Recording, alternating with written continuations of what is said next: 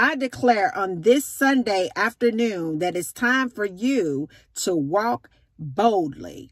A lot of us are afraid to walk in the Spirit of God boldly. A lot of us are afraid to fully execute the power that He has given us in this earth.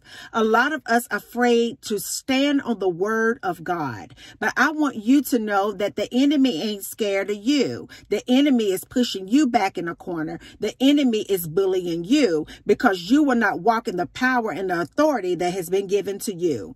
I wanted to reach out today to encourage encourage somebody to walk boldly. I want to reach out and encourage someone today to walk boldly into the uncharted territories today. It's time for you to walk into the enemy's camp and pull back everything that the devil thought that he stole from you. It's time for you to raise your head boldly, regardless to whatever it is that you may going may be going through today. And it's time for you to understand that a season is only a season. Whatever you're going through, it will not last always. It is time for you to be bold bold in happiness. It is time for you to be bold in joy. It is time for you to be bold in your strength. It's time for you to be bold in your courage. It's time for you to possess the land. It is time for you to walk in the authority in this earth because energies are shifting and the devil ain't playing and we ain't playing either. And as a child of God, it's time for you to walk boldly. Now in Acts 4 and 29, now uh, now, Lord, consider their threats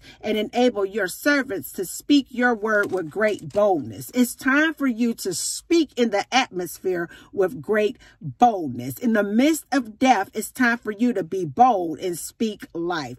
In the midst of strife, it's time for you to be bold and speak peace. In the midst of doubt, it's time for you to be bold and speak confidence. In the midst of hate, it's time for you to be bold and speak love. In the midst of darkness, it's time for you to be bold and shine anyway. You've got the endorsement of heaven backing you. You have angels in the air supporting you. It's time for you to stand in your power as a son, as a daughter, as a child of God and take it all back. Take it back boldly into the next video. Mm -hmm. Peace. Bye now.